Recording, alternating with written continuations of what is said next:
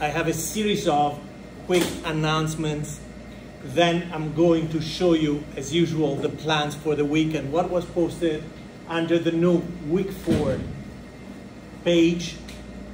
Then we will spend most of our time today discussing the themes and ideas found in Jules Verne's literature, Jules Verne being the author of two series of excerpts that were uh, listed as required readings.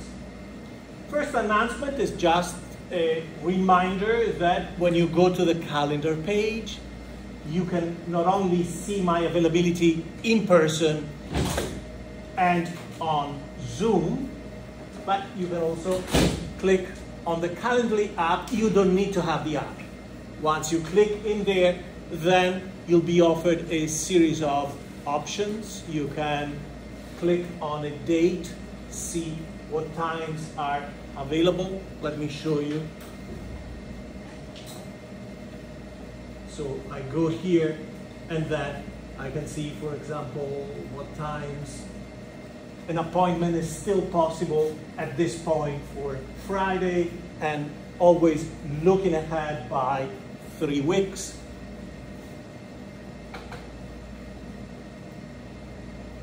This Wednesday, I'm not offering any Zoom office hours. I have a doctor's appointment and then I'm seeing a graduate student that is doing a dissertation under my supervision As promised, I processed quickly some of the pictures I took when I went to the historic festival vintage car races at Lime Rock Park in Connecticut. So you find in here a short video.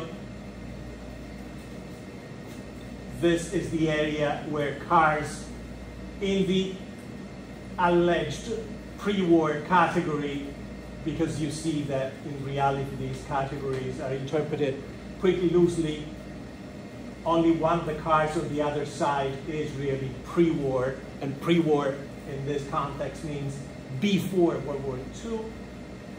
And, and this is the area where they gather before they enter the racetrack over there for a formation lap, and they have a rolling start behind the pace car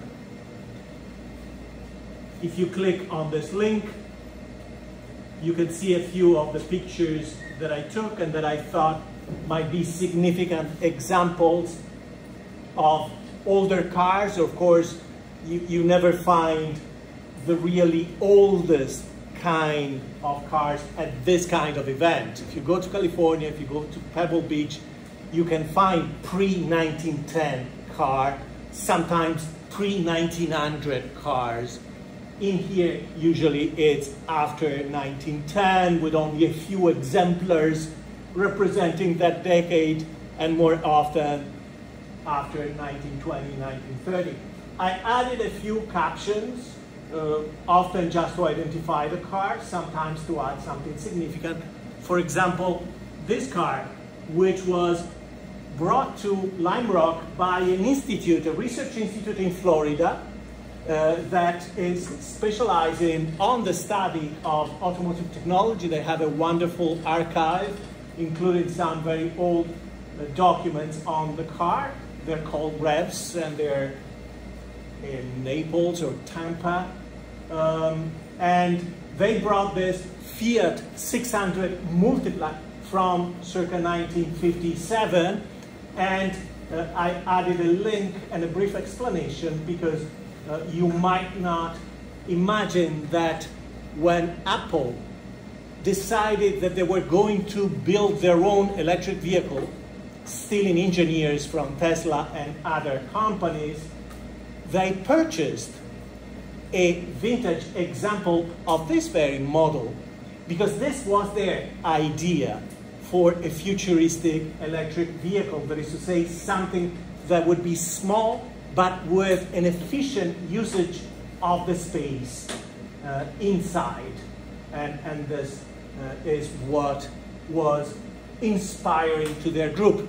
Then Apple decided not to make a real electric vehicle to uh, focus on the hardware side of the business, they announced they were going to develop software for self-driving cars and lately I haven't heard anything from, from that section of their company. Uh, it, it might be that they've renounced on any plan of engagement in this field.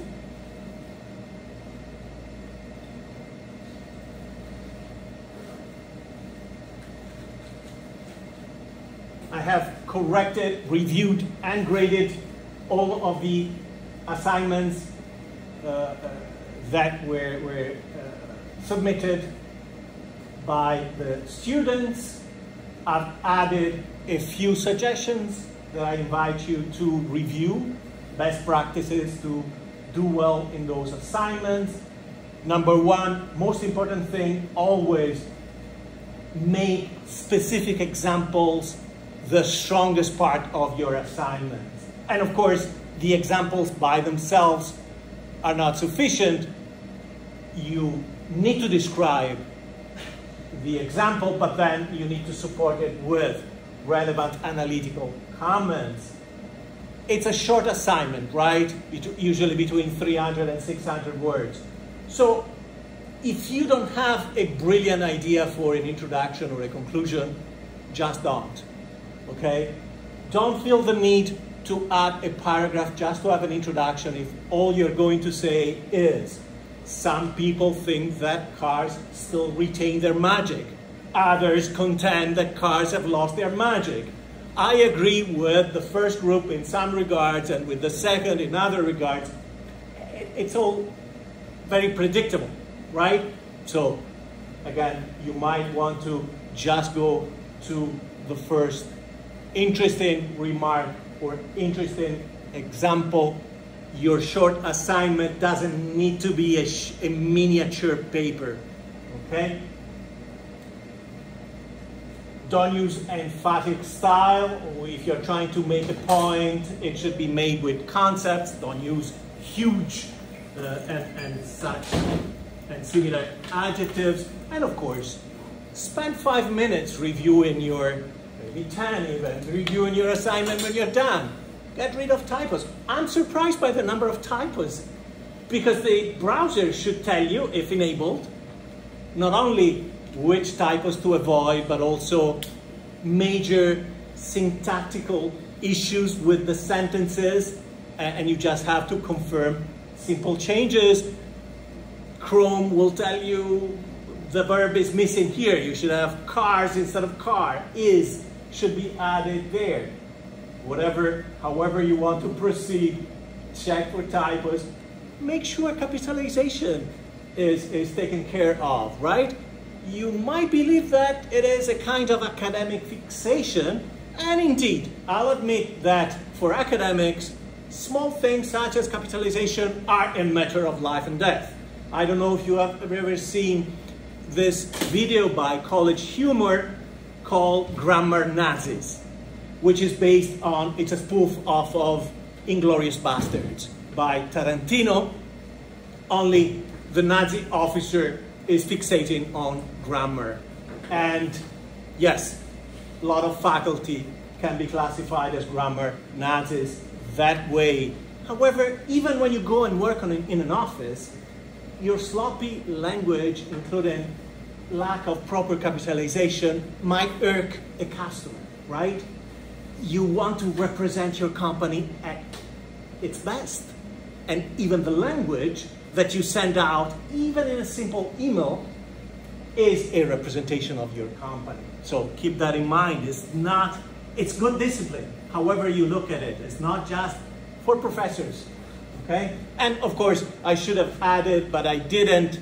I'll tell you now, when you're writing, write for some kind of average reader in mind. Don't write for me, okay? So in the assignment on the video, you don't say, I'm commenting the third video, right?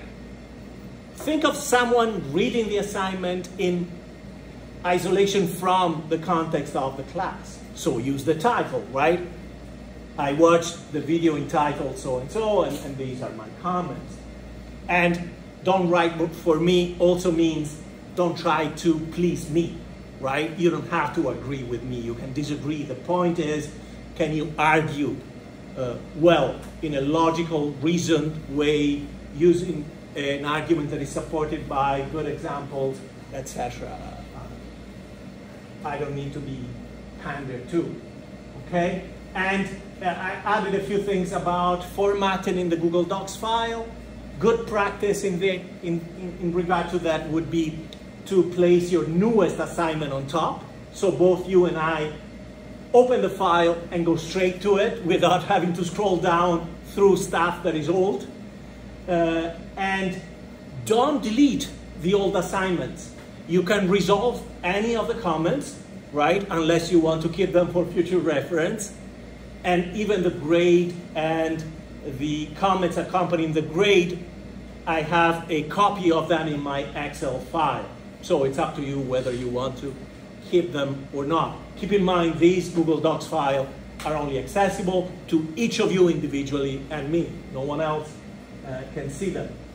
When it comes to formatting, good practice would be to format the title as heading one, because this way we would have a nice outline to jump to any of the assignments.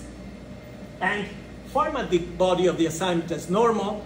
Of course, you may use another word processor and then paste the assignment in it, but spend a few seconds to uh, format it as normal, and the normal style in each file has been already made standard, and it has a, a, a kind of large font. This is not because I wear glasses and I'm an old man. Yes, I am, and, and I do. It's simply because in some instances I may leave several comments, and if you have a text formatted small, that occupies this much, then the comments become much longer and it's more difficult for any, both you and me, to understand what the comments is about. Okay? With a larger character and a narrow text, then the alignment is not problematic. And just for the last time, in this class, for this kind of assignments, it's not a big issue if you need a few more days, if you need a brief extension. Just be professional. Just put a comment inside. You place the title inside the, of the assignment inside the file, and then you add a comment where you say, please, can I have an extension up to Friday, up to Monday, uh, etc., and I'll receive a notification that was it for the announcements. I just received from Johnny uh, a flyer uh, and I'll, I'll, make it into an announcement, but if you want to see it at the end of the class, it's about a concours, uh, a gathering of exotic cars in Westhampton Beach uh, this Sunday, uh, yes. And uh, they're looking for volunteers and it's, it's a benefit. So the, they have cars, people will pay a ticket.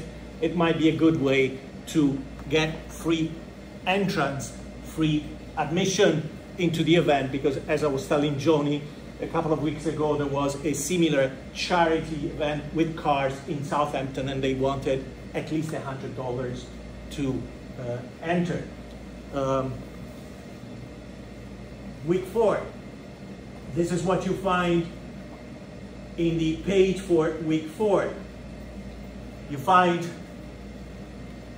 a presentation with notes that I'll be using today and Thursday, and a, one of the readings that I'll be commenting, commenting about briefly today or Thursday. For the second week, we will be watching scenes from Bumblebee, and I added However, because this time I want to conduct a brief analysis of the movie, of the visual style of the movie, so I added frames, as in the case of Loadbag, from the movie. So if you want to see what the camera does with the characters when Charlie wakes up these are frames that are representative of pretty much every camera angle.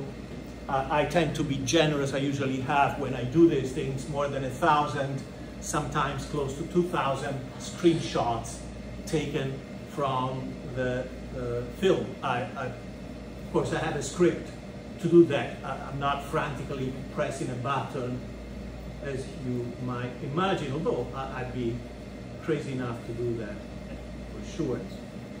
Uh, the assignments review the presentation that will be discussed today, and then you have two uh, sets of excerpts from uh, Jules Verne, and uh, there was a written assignment, but I decided to move it ahead by a week because this way, by next Tuesday, you will not only have heard about Verne and his narratives about technology, but also you will have heard uh, my analysis of select passages.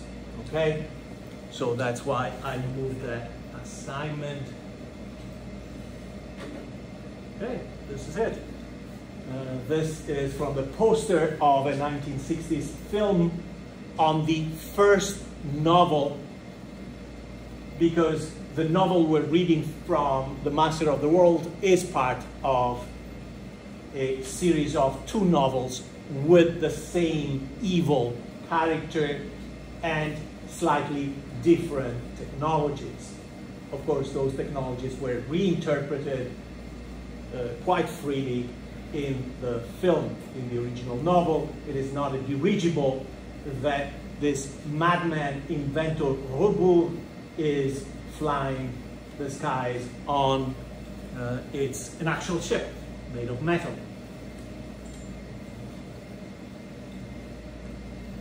Okay?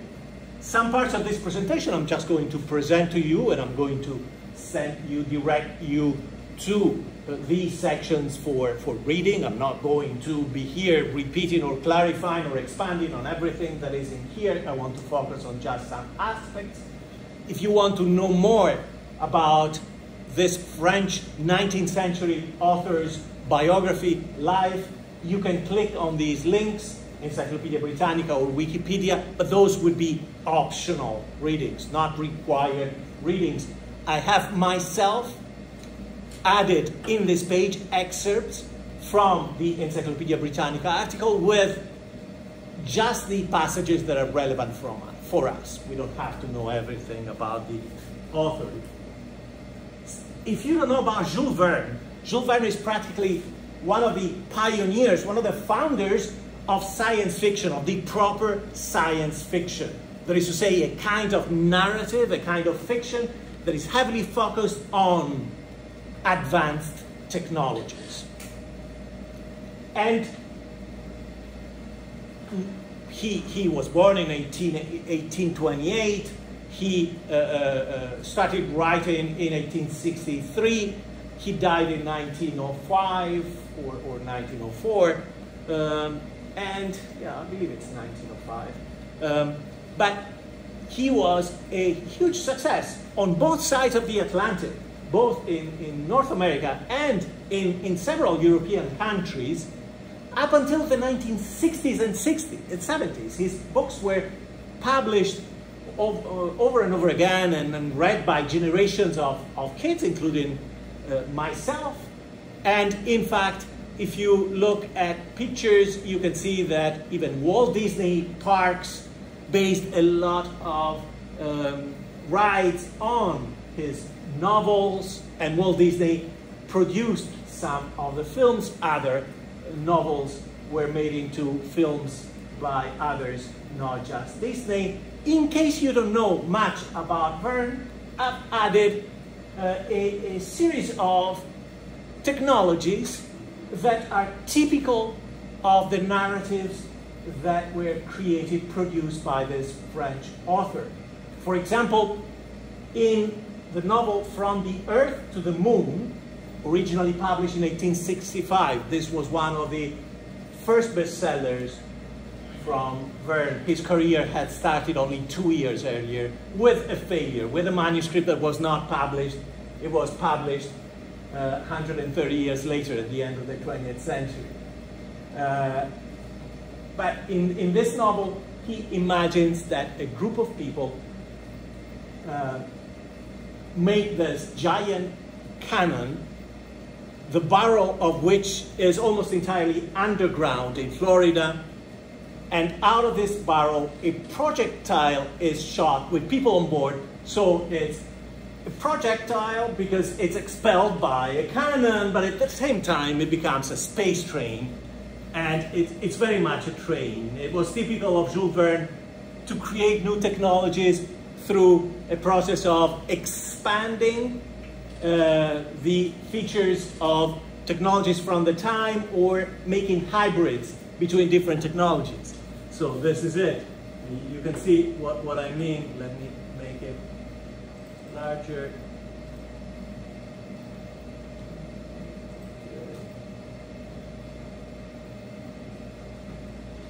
Okay, I hope you can see it. Uh, and you can see that it is a projectile similar to what would be pushed out from the barrel, the muzzle of a cannon, but at the same time, it's like a train with different sections linked together, and there are windows, and people spend time and live in there, and uh, because of the explosion, they're being propelled towards the moon. And of course, then you have as an author to figure out how they are going to survive and come back. Since they don't have their own jet engines on board, right? 1870, 20,000 Leagues Under the Sea, which was made into both a film and a famous ride by the Walt Disney Company. You find Captain Nemo on board an electric submarine. In here you can see just the bridge of the submarine, uh, which is uh, immersed in the water. And this is an electrical submarine that is able to go around the globe with its electrical engine. Submarines already existed. He just made this submarine fancier. Same with this example, a novel in that is about this giant vessel that is essentially like a small town, right? Housing thousands and thousands of people. You can see the size of regular boats compared to this behemoth.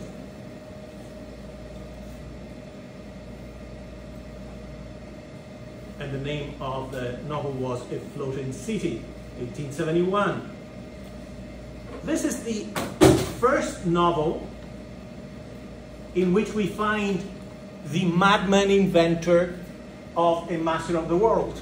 So this is the first part of a narrative that we will focus on and discuss. And in Robur the Conqueror, you find this flying ship, which is essentially like a ship, right? It is exactly like a regular ship, a, a kind of modern steamship that you would have found on the Atlantic Ocean. However, it flies because it, it has giant propellers in front and in the back, and is floating on the air because it has a forest of blades like a helicopter keeping it afloat.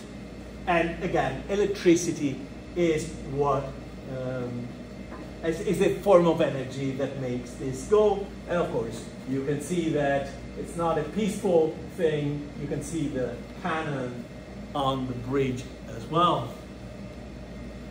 So this would be an example of a hybrid technology. And finally, the sequel to The Clipper of the Clouds, but the other going title is Robur the Conqueror, is the Maître du Monde, uh, the Master of the World, which we're reading from, from 1904. And in here, Verne, Verne, who himself had in fact predicted the automobiles. In his first manuscript, which was rejected by his publisher in 1863, he had talked about a future city of Paris in the 1960s, he imagined that to happen, uh, where taxi cabs with gas engines uh, were taking people around. That was never published. He came back to this idea that technology of the automobile in a Master of the World, however, he made it fancier, supersized, by imagining a kind of universal transportation device uh, called the Épouvante, uh, the, the, the, scaremonger, uh, which is able, in, in, the translation is the terror, uh, which is able to move on a road, move inside the water, floating on the water and moving like a boat, going under the water like a submarine, and going up in the sky like a plane. And we have this beautiful French edition from 1906 to give us some illustrations of this technology. This is a 1906 edition. There it is, Master of the World. And in here you find the protagonist on the side of good versus evil, who's John Strock, a federal agent of some kind who's sent to investigate on this uh, formidable invention and technology. And you see in here, you see the four uh, uh, stages of travel, the four formats of travel for this vehicle represented in this illustration. At the top, you see it fly with wings. It's actually flapping wings. And in here, you see it moving like an automobile. And this is supposed to be dust because, of course, before asphalt road, the passage of a fast vehicle would generate a lot of dust. And so this uh, amount of dust is, is suggestive of very high speed. And in here, you see it in between being submerged and going above water, right? So one, two, three, and four would be the format. And of course, you see boats and they're still sailboats, which is very realistic, right? As we said, in the 1900s, a lot of fishing was, was done with sailboats, not boats with an engine. That was still a novelty. And this is suggestive of the idea that this vehicle is threatening because it's disrupting the commercial activity of um, fishermen at the same time is endangering people on the streets and for the flying form, form of transportation the idea of threat is communicated by the vicinity, the proximity with uh, a, uh, an invented, a pseudo mountain in North Carolina with volcanic activities.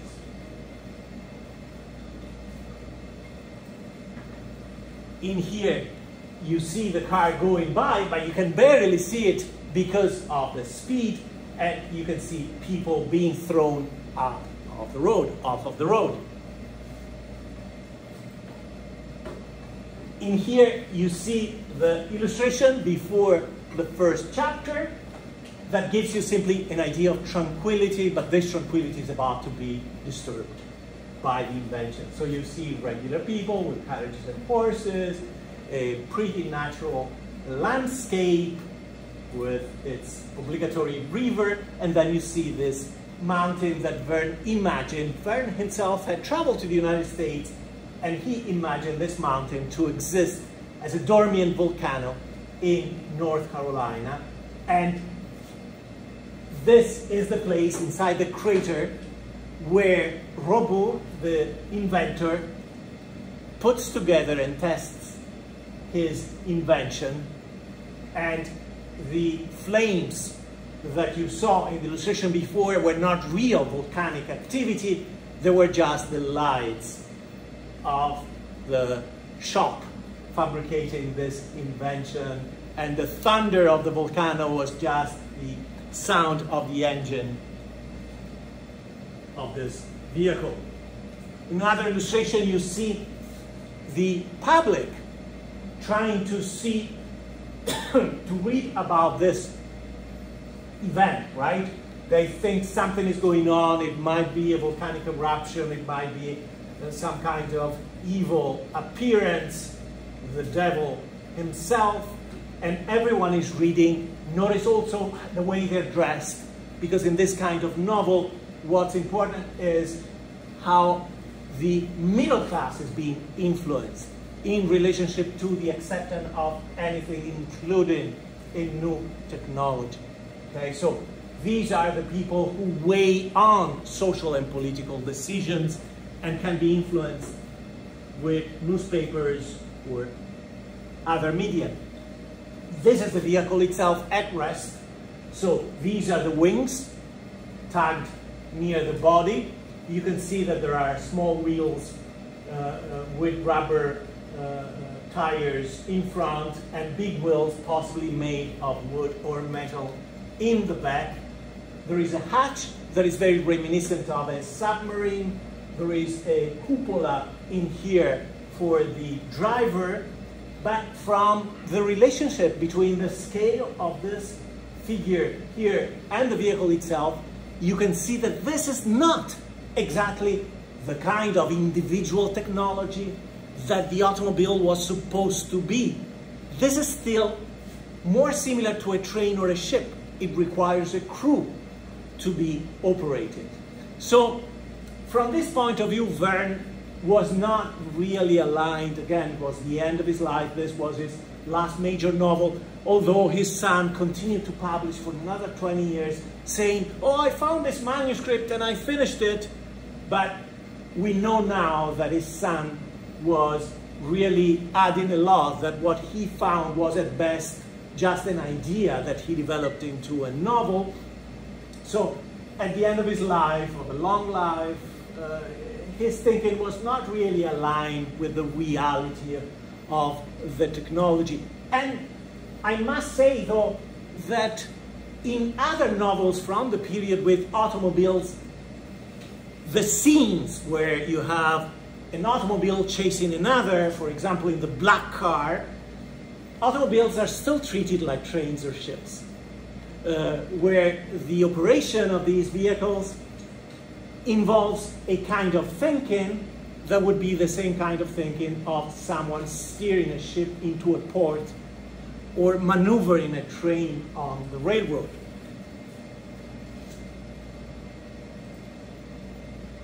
This is a repeat of the same scene with the disruption of the fishing by this technology. So society is being threatened, right? The core activities of society, the economy is being threatened.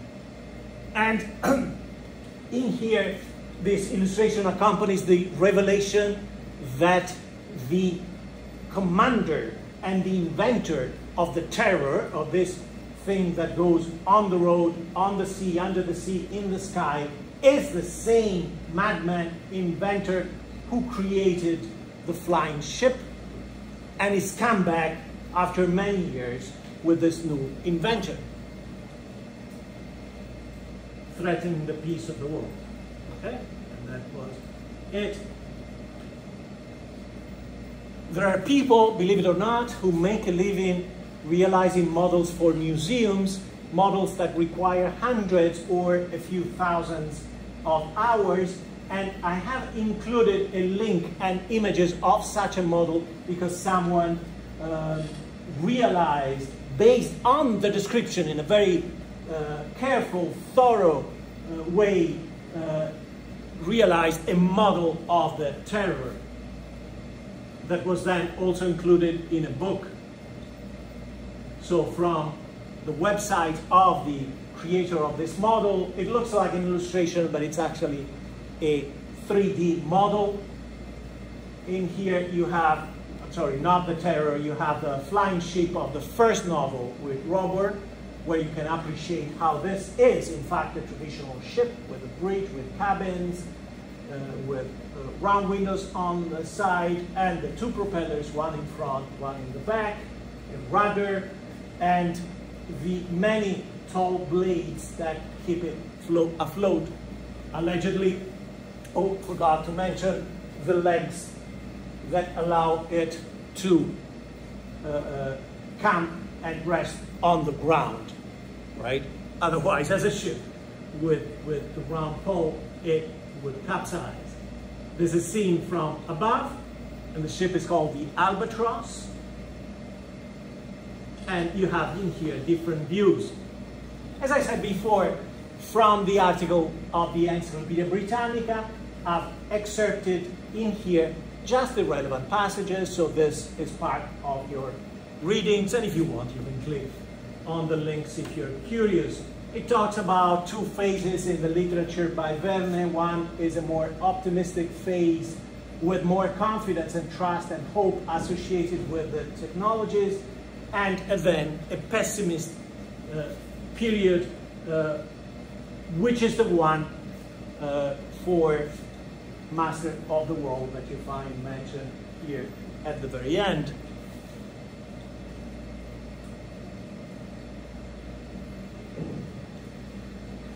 Verne wrote a lot of books. Not all of them are about technology. Some of them are just about exotic voyages and the exploration of parts of the world uh, that had not been fully explored or otherwise Verne is conjuring places that uh, still need to be revealed. The most relevant novels for us is the novels that we can classify as technological fiction because the technology is not just there in the background. It is really the central focus of the narrative, right? As in, to make a comparison, if you think about the first trilogy of Star Wars, yes, you find technology there. But the technology is not really central. It's not really primary, right? It's just part of the heroic life of the protagonists. But essentially, the first trilogy is like a medieval fairy tale where the knights are have uh, uh, laser swords and travel on starships. The technological fiction often turns into dark science because the inventor is often a kind of madman who's threatening the balance of the world, the balance of society. Of course, it is commercial literature, and therefore you find an element of serialization. You have someone who's trying to turn out as many novels as possible to make as much money as possible. Therefore, a lot of his novels are based on simple templates. For example, this is what happens with his novels it still happens with a lot of movies. Too many movies have a very nice, intricate opening, but the conclusion is very simplistic, right? Because it's easier to set up a very complicated premise that makes the spectators wonder what is going to happen, and then in the end you forget about the loose ends, right? And quite a few of them are left. Same with Verne, a lot of hurried conclusions. This is a pattern that you find especially in novels such as The Master of the World or um, the Robur the Conqueror. The first section of the novel is mystery. Something is about to happen. And this something uh, is, is presented with a mix of attraction and suspicion. So this could be a positive change or this could be the beginning of the end for the community, society, the world in general. Mystery is followed by the revelation of the technology, but the revelation is accompanied by the abduction of some of the protagonists who are taken on board the technology. And they spend enough time on board to really feel the seductiveness of this technology. So they were afraid initially, they were suspicious, they're angry because they've been abducted, but then they fall in love with this incredible technology. For example, um, the people in uh, the uh, taken John Strock, the, the, the scientists taken on board of the Albatross are taken on a three-week trip around the world. And finally, because this is still moralistic literature, good versus evil, and evil has to be uh, sanctioned, you have the destruction of the technology. Does it sound familiar? Well, it's half of the movies of this kind produced by Hollywood, right? Where at the very end, including 007, you have the destruction of the base of the evil man, the destruction of the technology. etc., etc., whether it be the Stadtdef or the headquarters of Spectre, etc. And of course, one way to serialize novels and make it more efficient to produce them is to have sequels, as in this case. So, a few notes about Robur the Conqueror, the first part of this two book, two novel series, and, and it was published in 1886. If you click in here, you can see a digital copy of the first edition.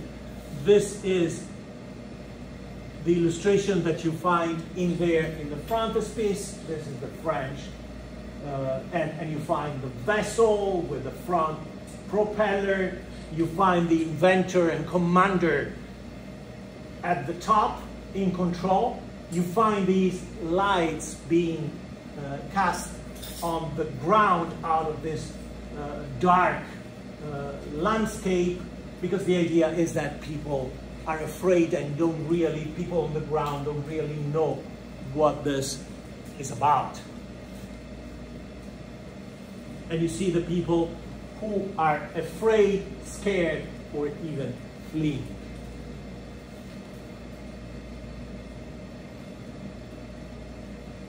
The relevant passages in the plot of this novel are the following.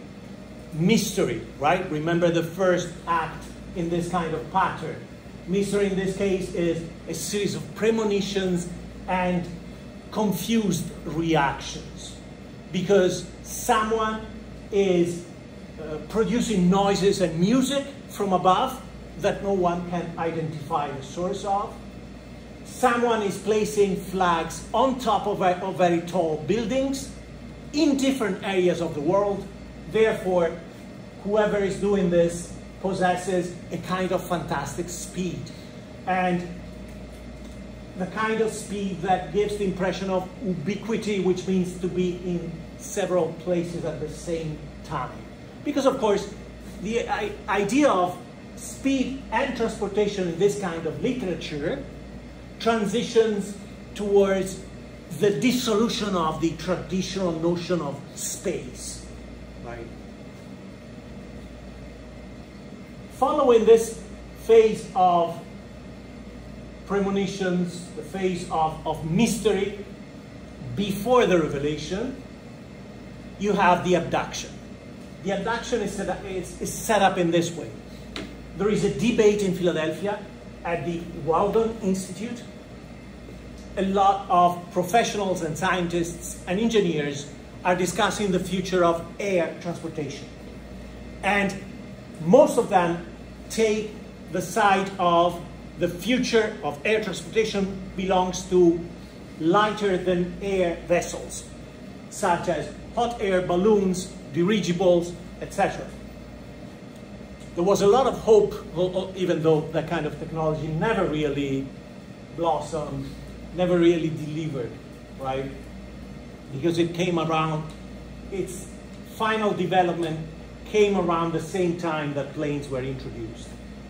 For the first 100, 120 years, not much was done with them. And the other side of this issue is, of course, those who believe that some kind of heavier than air vessel will be the future of flying, something like a plane. Okay? So the chief experts, the leaders in this kind of institute are kidnapped following the debate and they're taken on board the albatross. So from the abduction, you have, you, you proceed to the next step, which is the seduction, right? So they're hostages on this ship and they're taken around the world for three weeks. And essentially, this is not a kidnapping. They're not treated as prisoners because where they can, can they go? Right? They're, they're flying high in the sky, they have no parachutes, etc. Therefore, this is a giant demo of the technology. And throughout this demo, they feel the fascination of this technology. Finally, of course, while the ship is lower on the ground being refueled and restocked, they manage to escape from the ship, from this flying ship, and they cause explosions that will apparently destroy the new technology. Of course, the new technology is not, we'll learn later, it was not completely destroyed, and the inventor will come back 20 years later or so. Okay? So you have the, the mystery, you have the revelation, but in this case, the revelation is preceded by the abduction, you have the seduction and the distraction. The conclusion is interesting because in the conclusion, the Weldon Institute sponsors the creation and the first flight of this dirigible called Go Ahead, which is an omen, a sign of the future. When the people are looking up in the sky to see how well this dirigible is flying and going up, gaining altitude, a new albatross ship appears. The inventor did not die. He's coming back. There is a duel in the sky. The dirigible is about to fall, and therefore they're forced to be rescued to accept the rescue by the albatross. And Robur puts his former hostages on the ground and then delivers a final speech, which is interesting, has two parts. It's interesting because it gives a good idea of the moralistic view of technology, right? Because this Robur is not just an inventor, a madman, an evil man, but he's also a kind of technology prophet. Not prophet in the sense of predicting the future simply, but however, the prophet, the biblical prophet, is a figure who's critical of society, right? Critical of moral things. So Robur, in front of this audience, says, Citizens of the United States, my experiment is finished. So we know that this is an experiment, it's just a test, but it, it means that he will come back. That this technology is not over. It's over for now, but not forever. My advice to those present is to be premature in nothing, not even progress. So the inventor himself is rejecting the technology. The inventor himself is saying, I will hide this technology from you because you're not good enough to be able to handle it. Okay, so you see the moralistic view. Because up to this point, you would expect this evil madman to fully exploit to his advantage the technology, commercially, politically, militarily, right? And then he comes back and he says, no, no, no, kids, you're not ready for it. I'm taking this from you. Maybe I'll come back another time. In a word, we must not be, be before our time. Keep in mind, this is the 19th century. It's also the time of political revolutions, of social changes. So this is a conservative point of view, right? Be moderate in everything, including technology. So the inventor himself is saying, I've come too soon today to withstand such contradictory and divided interests as yours. You're divided, you're not united, you're not in a harmonious society, you don't deserve this kind of technology. And then this is his final goodbye.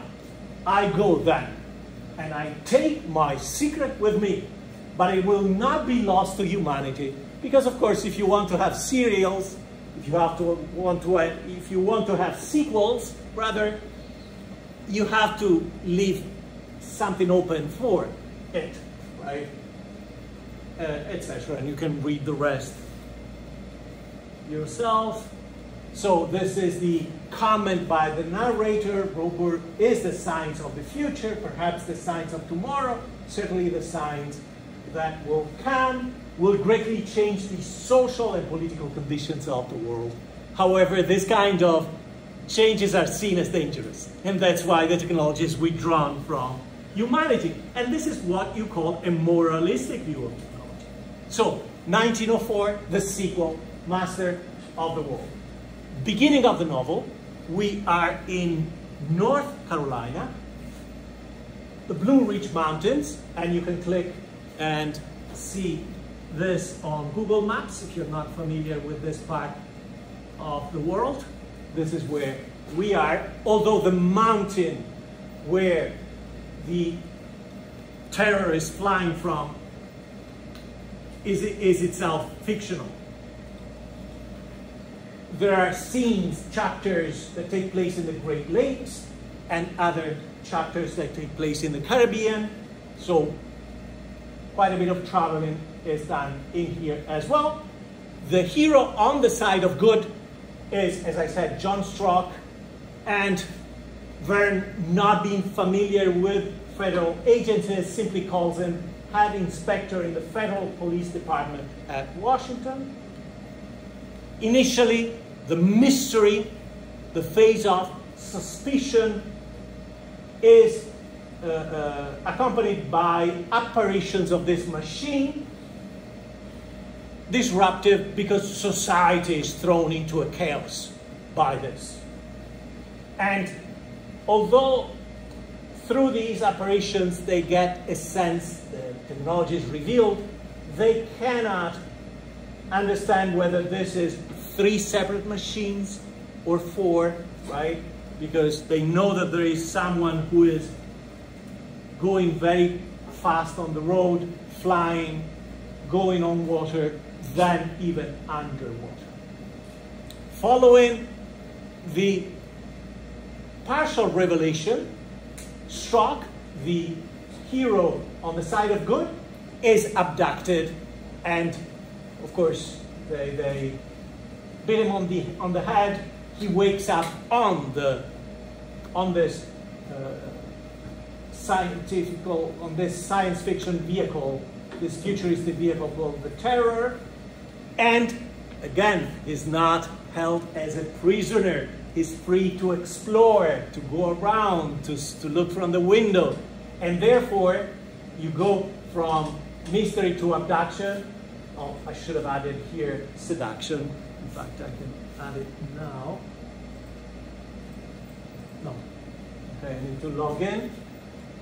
And from abduction to seduction, you go to the distraction of the machine.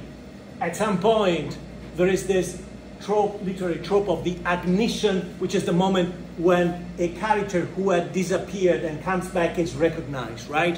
Which is typical of literature. For example, you find Ulysses or Odysseus, who goes to fight the war in Troy, comes back after 20 years to his wife, and they don't recognize him until a, a fatal moment.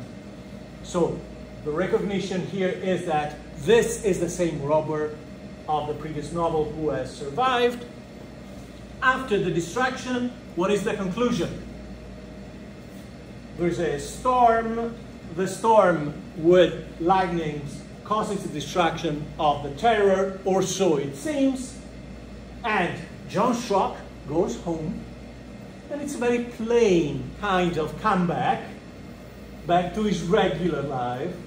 Robur is missing in action. They cannot find, the machine is destroyed, they cannot find his body though, so this leaves it open for possibly another sequel, but Verne died the next year. What are the tropes or themes in this kind of literature? The idea that technology is associated is, is pre-announced by dark and powerful, ominous signs, right? It's something you perceive physically, but it makes you uneasy. And you have experiences that cannot be explained. You know they're real, but you don't have an explanation because the technology is too new.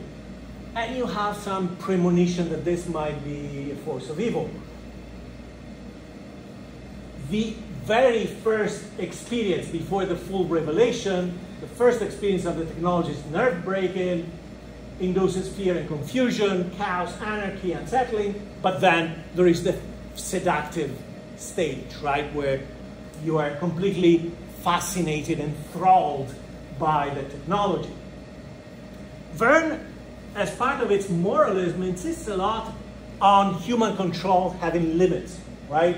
There are things you cannot control, and therefore you should be moderate in introducing change, changes nature is still a force to be reckoned with in this literature.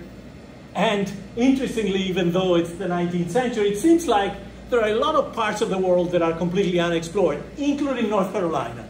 So you have this dormant volcano, and they say to the reader, nobody's been there, nobody can get there, nobody can really see what's inside the crater, and they try to do it with a hot air balloon. And this is true of, of the high seas or under the sea, uh, remote islands, etc., etc., etc. Nature is also the place where you harvest energy. So yes, there is the help of technology and science, but nature itself provides the sources of energy. In this case, electricity coming from the air. So the terror is able to fly and uh, get electricity while flying to recharge its batteries.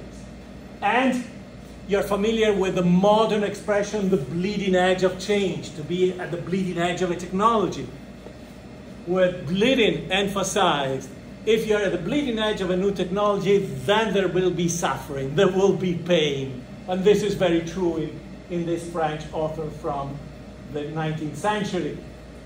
If you try to deviate too much or too quickly from the norms, social norms, norms that are supported by natural laws, then there will be consequences. Okay? Not good consequences.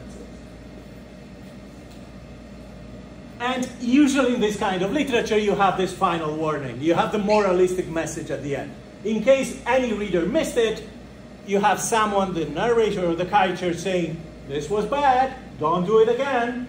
Be careful in when you're playing with the future. Of course, the conclusion is always open-ended, right? Be ready for the return of this technology or be worried that this technology will disrupt your life and pessimism prevails. After all, Robur is not very different from the caricature of the mad inventor that you find in Austin Powers, right?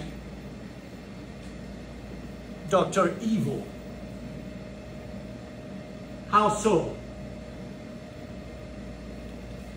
And before Dr. Evil, you have a lot of uh, uh, not comedic versions of this lone inventor characters. You have someone who's operating on a global context. In plenty of films from the 20th century, you have this kind of madman, scientist, inventor, with, with some kind of incredible technology at, his disposal, and is operating on a global context and trying to use the technology for power or domination. This kind of inventor is separated from society, right? It's like Dr. Evil. Where does Dr. Evil come from? And the technology itself does not come from an urban area. It's associated with some kind of isolated locale, right? Often an exotic locale. 007 would be the perfect example. The 007 movies from the 1960s, 70s, 80s especially. The technology doesn't come from the industrial setting, right? It's outside of the regular channels of research and development. The initial interactions of the inventor, their technology with the world are similar to Verne. Enigmatic signs, people are offered clues they cannot interpret, letters or messages, debates, and you find some examples of letters if you want to. Of course, in this kind of literature, from Jules Verne and Robur to Dr. Evil, there are incredible holes, right? Gaps in the narrative that you can explain. So they seem to have a lot of henchmen, right? That, were, that are working for, for them. Do, where do they come from? How were they recruited? Where were they trained? Where are their families? You don't know. You just know that you go to Spectre's base or Dr. Evil's version of it and you find dozens or hundreds or thousands of people and they're just there, right? the technology itself. Where were the resources gathered to create this technology? Energy, material, etc. Never explained from Verne to Austin Powers. And very hard to believe that you have usually technology that is born ready or quasi ready, right? Boom, from the get go, it works in a threatening way. No signs of a development, no visible bugs. The mad inventor itself, himself becomes a character that will have a long series of models from the 19th to the end of the 20th century. He's a, some kind of engineer, but is deviant, deviant in a technological way, right? Usually is a character who's very temperamental, changing minds, his mind quickly, narcissistic clearly, charismatic though, right? With, with some charisma, because this has to work for the phase that is called the seduction of the technology, right? Displays hubris. Hubris means moral arrogance, right? His plans are grandiose. And it seems like some kind of great revolution can be realized. The social order is being threatened.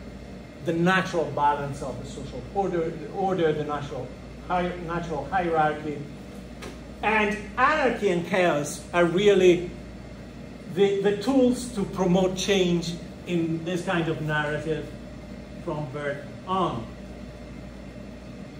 What is that is happening, interestingly, we're still in the 19th century with Jules Verne. So we have an interesting mix of old and new in this literature. Plenty of traces of the old world. So the albatross flies but it's not a helicopter. It's shaped like a traditional ship. The Terror has wings like a bird, or like an invention of a flying machine by Leonardo da Vinci. The technology is somewhat magic or supernatural, right? This idea that they can be everywhere in an instant. In a very short amount of time, they can travel everywhere. They never run out of energy right? Never a problem, no matter how big the vessel is, how quick they travel. When you look at the descriptions, there is plenty of advanced technologies, but there is also interesting a mix of old decor, right? The inside, the furniture, the places are more similar to a ship or a house from the 19th century. And it's very much a middle class fantasy. That is the kind of reader for this literature. Meaning, if my wishes came true, if I had unlimited resources, what could I have? A ship that is luxurious and also travels everywhere very quickly, etc. In many ways, this kind of hybrid between advanced technology and regular fixtures is reminiscent of the steampunk genre, and if you don't know about it, you can click on it. I added this illustration. This is a beautiful series of illustrations by Albert Robida, 1902, and this is supposed to show Paris in the future. And it is the same kind of hybrid representation, right? Because you have this futuristic looking flying vehicle, but the people are dressed like people from the 1900s and the people are coming out of the opera, they're going to restaurants. So it's really this clash between really new and really old.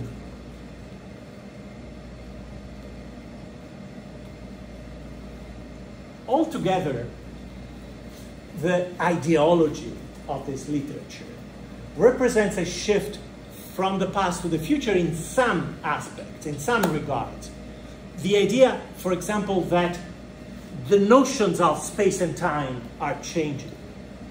And the process of mobility, transformation, and transportation being transitioned from a step by step kind of process to a more fluid reality or, or situation where speed and these kinds of devices, whether it be moving on the ground or flying, etc., are not simply taking you from point A and point B. Point A and point B are not important anymore. What's emphasized is being in transition so that traveling at speed is a dimension in itself. So it's not the temporary state that you go through when you move from point A to point B. But it's the new dimension of modernity. Modernity is not about being linked to one place or two places. It's about being in motion. And being in motion is the new permanent reality. That's the idea. So, what I mean by step by step, think of agriculture, right? You plant the seeds, you wait, you reap the crops. Or manufacturing, you do something and you produce a product. But the same is true for administration and bureaucracy. The opposite of this is electricity. Electricity is fluid. And it gives you this idea of almost instantaneous transfer, right? You send electricity through a wire with a telegraph, for example, and it seems to travel almost instantaneously, right? And that's the new emblem of modernity. And globalization, not as the total sum of all the places being connected. No, it's the planet as one place with no distinction. Do you understand the difference? Globalization existed even in the Renaissance, right? Because people would go to Indonesia and buy nutmeg and then sell it in Venice, and from Venice it would be sold again in London, etc. But this is a different kind of globalization. It's the idea that there are no multiple places anymore. There is one place that can be reached almost instantaneously. And finally, I'm getting closer to the end of this, one trope that you find in this literature, which is still heavily relied on for fiction, books, and movies, is the idea of the madman as the evil engineer or scientist who knows everything about this technology and we don't know how or why they know everything. But how do you develop an interesting narrative? You place this evil but very savvy, very expert character next to a virgin. In this case, a tech virgin, someone who knows nothing about the technology and will be seduced and fascinated by the technology. And this kind of trope is at the basis of uh, too many, really, it's kind of boring at this point, too many movies and books, right? Uh, so you find it at the end of the 19th century with Sherlock Holmes. Who's next to Sherlock Holmes? Dr. Watson, who seems to be someone who's always the last one to understand who's the murderer or how Sherlock Holmes reached his conclusions. They live together, they work together. And yet, Dr. Watson, who's a doctor, real doctor, is always the last to know. It's the contrast between these two characters that make the narrative lively. But the same is true for Fifty Shades, right? You have this super sadist who knows everything about the uh, body and stimulating how to excite sexual reactions next to a woman who's practically a virgin. And this kind of contrast is supposed to move the narration. Or go back to the end of the 20th century, a lot of movies about cops or soldiers where you have a veteran cop, a veteran soldier next to the recruit. And again, this kind of dynamic moves the narrative uh, on. Let me pause a moment to circulate the attendance. And I'm trying to see what else I need to explain because you can read everything by yourself. I think pretty much the rest of it would be easy for you to digest at this point. So we have five minutes left for questions or for comments, and otherwise, I will keep you prisoners and, and prevent you from leaving the room without any questions in case you're thinking of just escaping. So questions, comments, or anything you know about this kind of literature, other examples, including films that you have in mind that you thought of when you uh, uh, listened to my introduction. Keegan? Are the, um, are the archetypes that are within these stories and how they're used, do they sort of like evolve over time? Or have they just basically just stayed the exact same? Not much, really. It's commercial literature. So a lot of small variations, right? But this is someone who's churning out novels as quickly as possible. He wrote dozens of them, became a millionaire. And as I said, up, up until the 1960s and 70s, these novels were still being republished in French, English, Italian, German, and many other languages, and generations of kids growing up at the end or the middle of the 20th century were familiar with this kind of uh, juvenile fiction. What else? Questions, comments?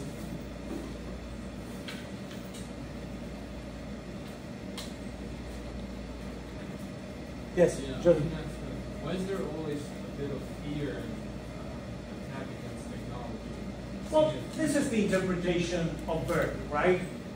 So it's hard to say whether this is reflective of society in general in France or Europe or around the Atlantic during that time. But in the case of this very successful artist, writer, that was the position he took during the second half of his life. His private life was not going very well. Uh, that might have played a part. And in general, I think that it is true that from the French Revolution on, there are two kinds of changes. One is the political change, right? The old monarchies of the past are trying to resist being turned into the new democracies of the 20th century.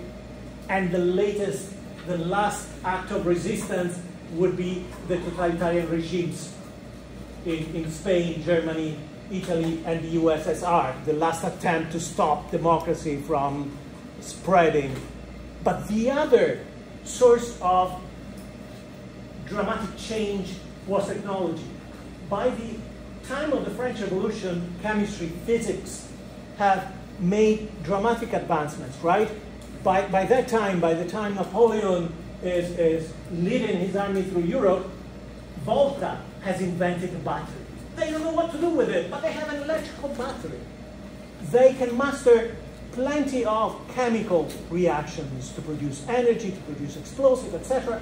So there might have been indeed this sense that technology was jumping ahead while social values, the culture of society in general, was still pretty much the same and remained the same until World War II. Really, it is the post-war period where those old cultures crumbled almost everywhere in, in the world. So this might explain this fear of, of the new, because you're equipped with a view of the world that is not made to include that kind of new technology and new science. Of course, it's open to interpretation. Okay?